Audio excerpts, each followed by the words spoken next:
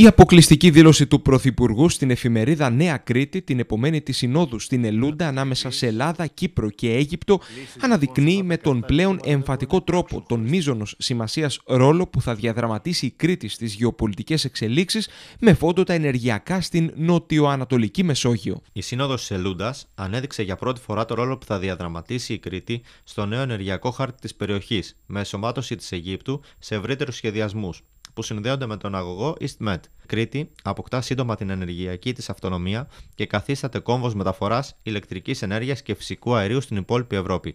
Ο ρόλος της Κρήτης εδραιώνεται πανεπιστημιακή και συγκεκριμένα ειδική σε θέματα διεθνών σχέσεων και διεθνούς δικαίου μέσα από την Κρήτη TV και το Ράδιο 984 αναφέρθηκαν στα νέα δεδομένα που διαμορφώνονται.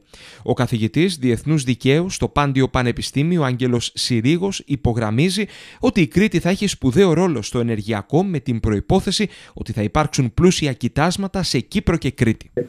Το κρίσιμο σημείο είναι αν θα βρεθούν μεγάλα ενεργειακά κοιτάσματα νοτίως της Κύπρου ή και της Κρήτης για να μπορέσουν όλοι αυτοί οι αγωγοί τους οποίους, για τους οποίους μιλάμε και τους οποίους σχεδιάζουμε να έχουν οικονομική δυνατότητα να εκτελεστούν. Μπορεί να υπάρχουν ενεργειακά κοιτάσματα μεγάλα και μακάρι να υπάρχουν.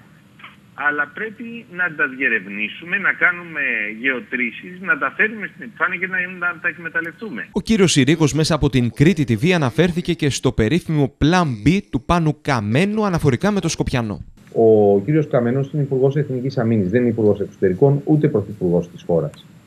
Επομένως, μιλάει μόνο για θέματα του Υπουργείου του.